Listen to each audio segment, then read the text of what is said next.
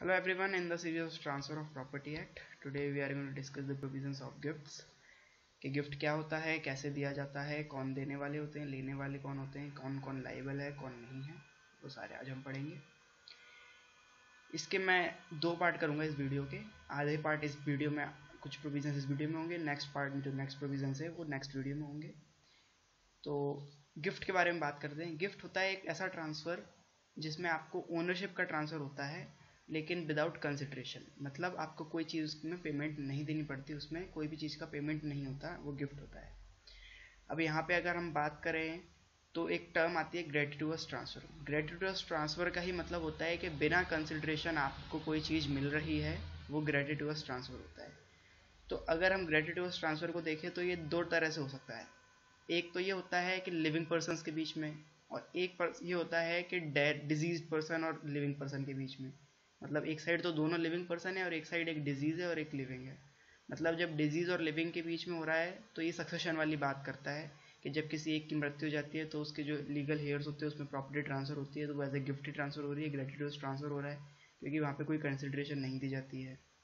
लेकिन अगर living person के बीच में कोई प्रॉपर्टी का ट्रांसफ़र करना है तो उसके लिए दोनों पर्सन ज़िंदा होने चाहिए और उनको ज़िंदा होने के लिए यहाँ पे जो ट्रांसफ़र ऑफ़ प्रॉपर्टी एक्ट है, इसमें प्रोविजंस बना रखे हैं। अब हम एक इलस्ट्रेशन से अगर समझना चाहें कि गिफ्ट क्या है तो इलस्ट्रेशन बात करता है कि a transfer is house to be without consideration कि बिना कंसिड्रेशन के ए जो है हाउस अपना है, उसको ट्रांसफ़र करता है बी को बिना कंसिड्रेशन के, बिना कुछ रिटर्न बिना कोई पेमेंट लिए उससे, अपना हाउस दे रहा है तो उसको गिफ्ट बोलेंगे हम।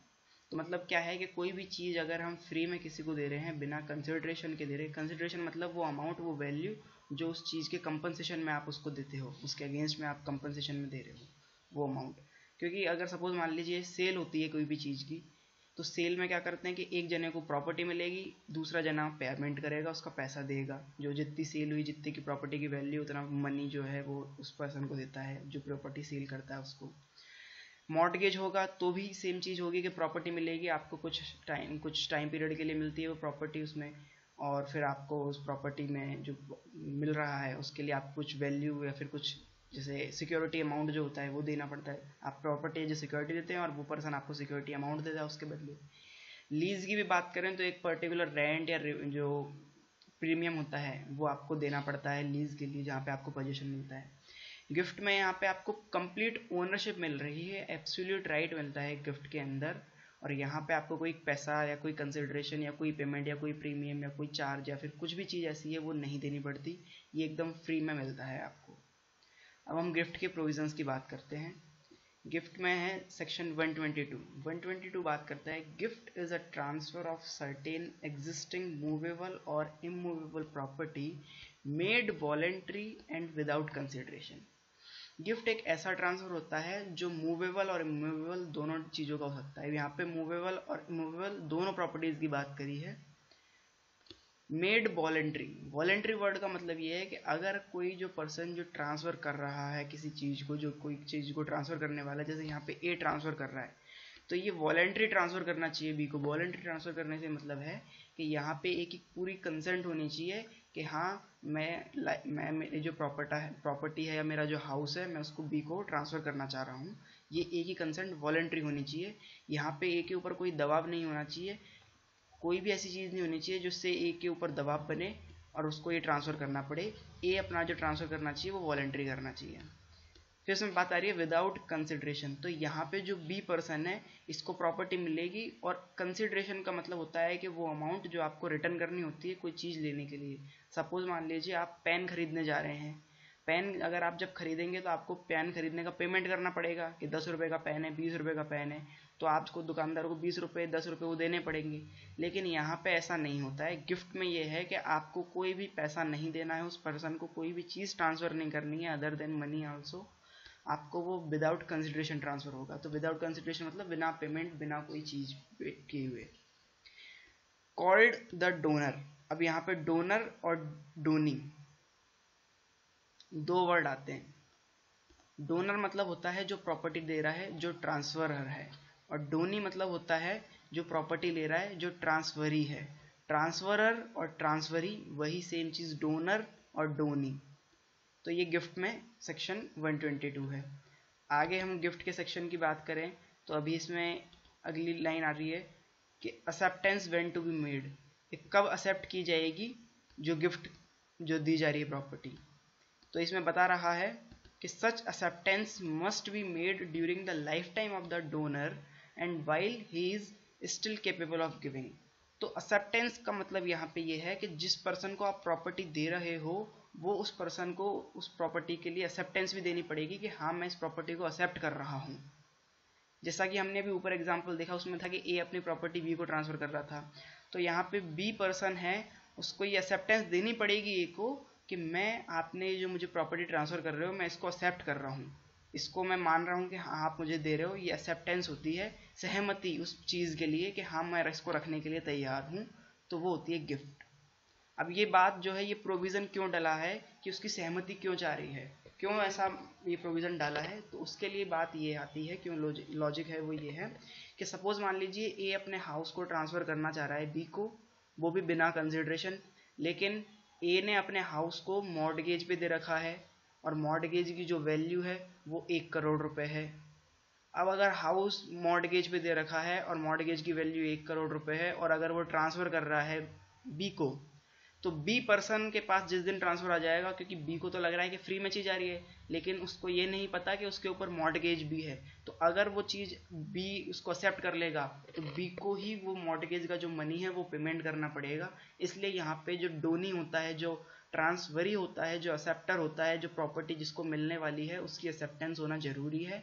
और इसमें बात करी है कि such acceptance must be made during the lifetime of the donor while he is still capable of giving और जो एक्सेप्टेंस है, वो डोनर को देनी पड़ेगी। डोनी के द्वारा। डोनी मतलब जिसको प्रॉपर्टी मिल रही है, वो एक्सेप्टेंस देगा डोनर को कि हाँ मैं ये प्रॉपर्टी लेने को तैयार हूँ।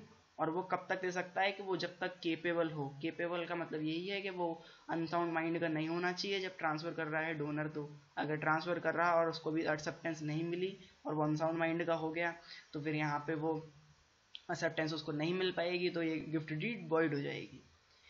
फिर बात आ रही है if the donee dies before acceptance the gift is void यहाँ पे फिर इसमें बात करिए कि जो डोनी है, जो एक्सेप्टर है, जो गिफ्ट मिल रहा है जिस पर्सन को, जो ट्रांसफरी है, जिसको गिफ्ट मिलना है, जिसको एक्सेप्ट करना है, अगर उसकी डेथ हो जाती है, उसके एक्सेप्ट करने से पहले ही उस गिफ्ट को। ए अगर बी को कोई गिफ्ट देता है और बी उसको अगर एक्सेप्ट नहीं करता है, उससे एक्सेप्ट करने से पहले ही उसकी डेथ हो जाती है तो ये गिफ्ट वॉइड मानी जाएगी। फिर आगे इसमें बात करिए सेक्शन 123 की कि कैसे ट्रांसफ़र अफेक्ट होगा, कि गिफ्ट का जो ट्रांसफ़र होता है वो कैसे होता है, उसकी बात करिए यहाँ पे। तो 123 बात करता है कि ट्रांसफ़र हाउ इफेक्टेड इसको हम पढ़ते हैं।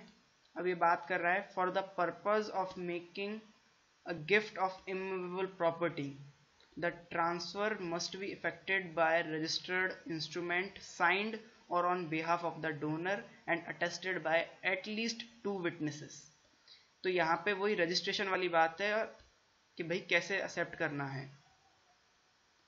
For the purpose of making a gift of immovable property अगर इमूवेबल प्रॉपर्टी है उसका गिफ्ट करना है, क्योंकि ये जो गिफ्ट के प्रोविज़न है, ये मूवेबल और इमूवेबल दोनों प्रॉपर्टीज़ पे लगते हैं। तो यहाँ पे बता रखा है कि अगर इमूवेबल प्रॉपर्टी है तो उस पर कैसे आपको जो ट्रांसफ़र होगा, वो कैसे होगा? तो the transfer must be effected by a register instrument तो आपको एक इंस्ट्रूमेंट बनाना पड़ेगा, एक रिटर्न इंस्ट्रूमेंट बनेगा रिटर्न डॉक्यूमेंट बनेगा, उसको रजिस्टर भी करवाना पड़ेगा। अब यहाँ पे ऐसी बात नहीं है कि जो प्रॉपर्टी है वो सौ रुपये से कम की होनी चाहिए या सौ रुपये से ज़्यादा की होनी चाहिए, ऐसी कोई बात नहीं है।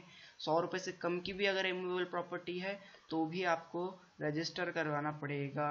और सौ रुपये से ज़्यादा की प्रॉपर्टी है तो भी करवाना पड़ेगा। तो आगे अब हम बात करते हैं इसमें कि ट्रांसफ़र हाउ इफेक्टेड वाली जो बात चल रही थी। Instrument signed by the transfer must be effected by register instrument तो रजिस्टर इंस्ट्रूमेंट मतलब रिटर्न कॉन्ट्रैक्ट होना चाहिए उसके उसके लिए रिटर्न एक डॉक्यूमेंट होना चाहिए, वो रजिस्टर भी होगा, सौ रुपये से कम की वैल्यू का हो, सौ रुपये से ज़्यादा की का हो, कोई फ़र्क नहीं पड़ता। फिर इसमें बात करिए साइन होना चाहिए बाय और ऑन बिहाफ ऑफ़ डोनर या तो डोनर के द्वारा जो ट्रांसफरर है, जो प्रॉपर्टी दे रहा है, जो गिफ्ट कर रहा है, उस पर्सन के द्वारा इस जो इंस्ट्रूमेंट है, उस पर साइन होना चाहिए। मतलब जो डोनी है, जो एक्सेप्ट कर रहा है, उसकी सिर्फ़ एक्सेप्टेंस चाहिए, उसके साइन की ज़रूरत नहीं है। And attested by at least two witnesses और दो विटनेसेस के द्वारा उसको अटेस्टेड होना ज़रूरी है। तो इमूवल प्रॉपर्टी के लिए क्या है कि डोनर साइन करना चाहिए और दो अटेस्टिंग विटनेस होने चाहिए उसके लिए, अगर इमूवल प्रॉपर्टी है। चाहे सौ रुपये से ज़्यादा हो, चाहे सौ रुपये से कम हो। फिर बात आती है for the purpose of making a gift of movable property ऊपर इमूवेबल प्रॉपर्टी था, अब मूवेबल प्रॉपर्टी की बात कर रहा है the transfer be effected either by register instrument signed as aforesaid by delivery या तो आप रजिस्टर इंस्ट्रूमेंट बनाओ, और नहीं बनाते हो रजिस्टर इंस्ट्रूमेंट तो सिर्फ़ सिंपल डिलीवरी कर दो। वैसे ही मूवेबल प्रॉपर्टी का ट्रांसफ़र हो जाएगा। अगर रजिस्टर इंस्ट्रूमेंट बना रहे हो, आप पूरा डॉक्यूमेंट बना रहे हो कि आज ही मूवेबल मूवेबल प्रॉपर्टी है। मूवेबल प्रॉपर्टी का मतलब कौन सी प्रॉपर्टी जो एक स्थान से दूसरे स्थान जा सकती है which can transfer from one place to another place easily तो वो मूवेबल प्रॉपर्टी है। तो मूवेबल प्रॉपर्टी के लिए आप या तो रजिस्टर इंस्ट्रूमेंट बनाओ मतलब एक रिटर्न डॉक्यूमेंट बनाओ, उसको रजिस्टर करवाओ। और अगर वो डॉक्यूमेंट नहीं बना रहे हो तो सिंपल आप डिलीवर कर दो। मान लिया जाएगा कि वो गिफ्ट हो चुका है। Such delivery may be made in same way as goods sold may be deliver तो ये जो डिलीवरी है मूवेबल प्रॉपर्टी की ऐसी होगी जैसे कि गुड्स सोल्ड होते हैं, वैसे ही माना जाएगा।